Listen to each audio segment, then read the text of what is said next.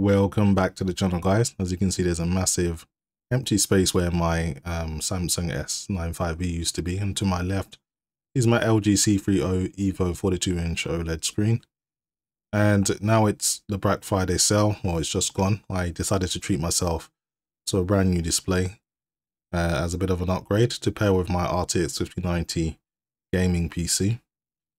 Now, um, I was looking around and it's been about three years since I bought my S95B, so I thought, you know, it's due an upgrade, due an image bump, and maybe a refresh rate bump. So I got myself the LG OLED G5 in the 48 inch range, and now the 48 inch isn't available everywhere. So I'm obviously from the UK, and we do have it, and it does come with a stand. Like previously, the Gallery series was really just a display that was really mounted on on walls, but they've given you a smaller screen option now with a stand so you can kind of use it as a monitor now and you get all those benefits of uh, better peak brightness and you get of course the new A11 processor as well. I think I'm just checking the box was okay. There was no real damage and it does come very very well packaged.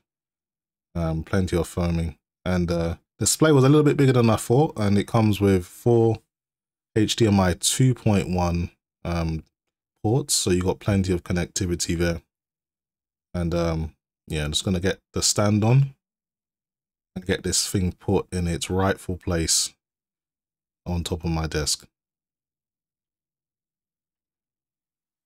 So last thing is to peel off that little bit of plastic. So I'm just gonna peel this off now to reveal the screen in all its glossy goodness. Now some of the samsung models use more of a matte finish but lg goes for the glossy black finish and that kind of provides a more richer, sharper color in my opinion. Uh, but it still deals with light reflections really well. And as you can see, um, this is how it looks. For my streaming and recording PC, I've got the LG C3 EVO right next to it, but the G5 that stands above in terms of brightness and sharpness, it's absolutely insane. I will show you some HDR gameplay in a moment. But one thing to note that the 48 inch only goes up to 144 hertz. I really wish this was communicated a little bit better because every single review you'll see will be at like 165 hertz because of the 55 inch models and above do support that. This also uses a tandem RGB um, display. I know a lot of people had questions about that, but it does. And, a lot of people have proven that with the subpixel layout. They've taken pictures to see that it is different from the C5. It is a different tandem RGB uh, screen from the 55 inch and above, but it is one of the new screens, so you are going to get that brightness boost, and believe me, it's an insanely bright screen. Okay guys, so this is actually the TV in HDR mode. I'm playing Cyberpunk 2077. I'm using my Samsung S23 Ultra to capture this in HDR. So I don't know how well this is coming out, but um, the settings I use is from a user called um, Everything LG OLED, I believe his channel called. What absolute legend. He goes through pretty much every single setting you need to get your LG HDR experience popping. And I'll put a link in the description to his channel or the, the exact video I use because honestly, it makes all the difference and it just looks amazing. So I'm going to just go through the in-game settings that I'm using as well. So as you can see, um, HDR 10 PQ is what I'm using.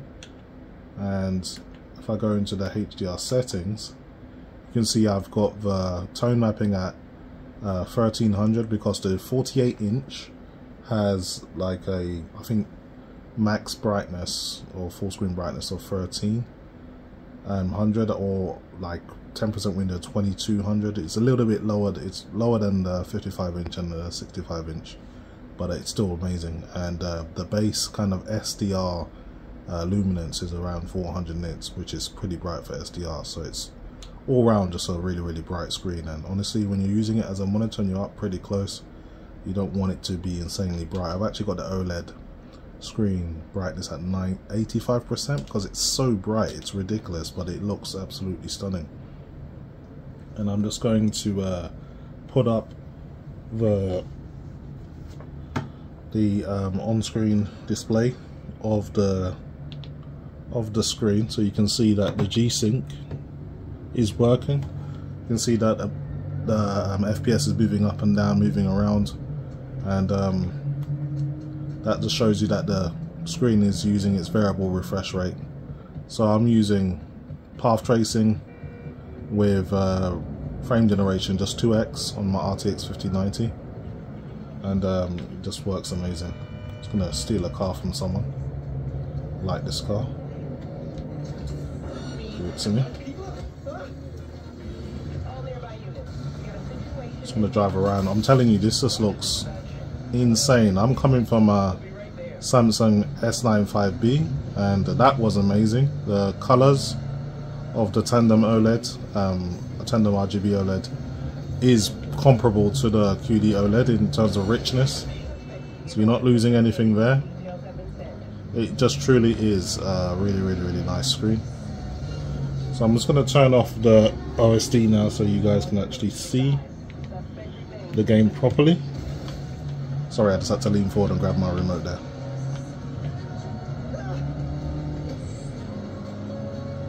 Yeah this is this is insane. This is easily one of the best HDR experiences I've had.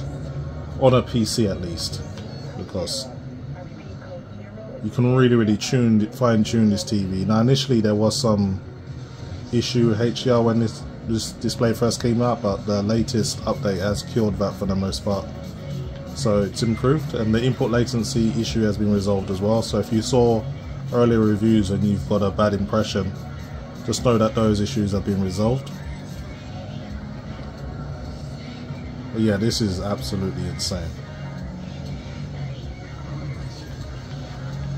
And this feels great as well in terms of input latency. You, I've got no complaints whatsoever.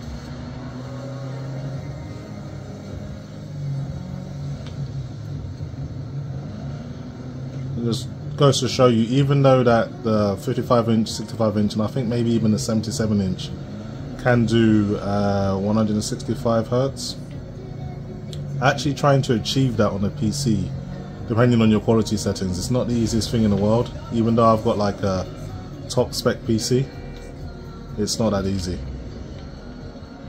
Uh, let's see if I can get into a gunfight or something.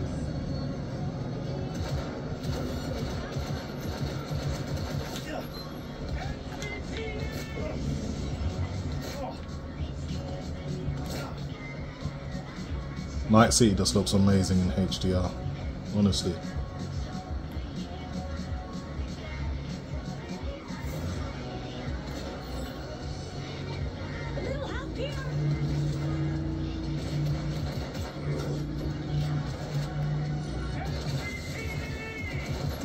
Sorry guys, nothing personal.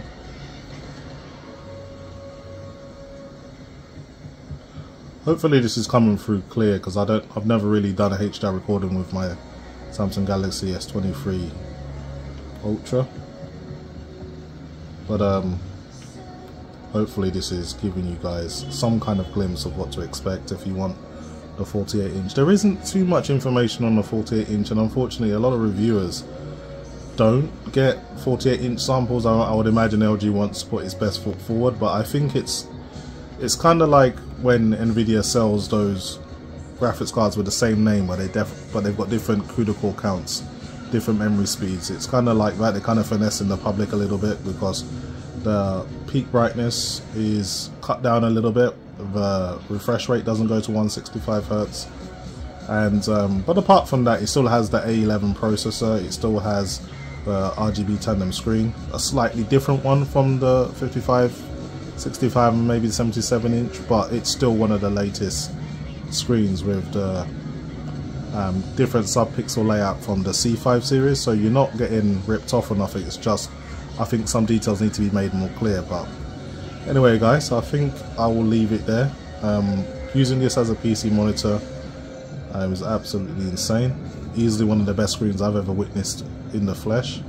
So uh, yeah definitely um, pick it up if you can get it at a good price. I got mine for uh, just over 1,000, so 1,050 pounds in the UK, and that was on a Black Friday sale. So I, I had to go and treat myself to that, and um, definitely have no regrets. So anyway, guys, that's pretty much it for me. Hopefully you've enjoyed the video. as always, thanks for watching.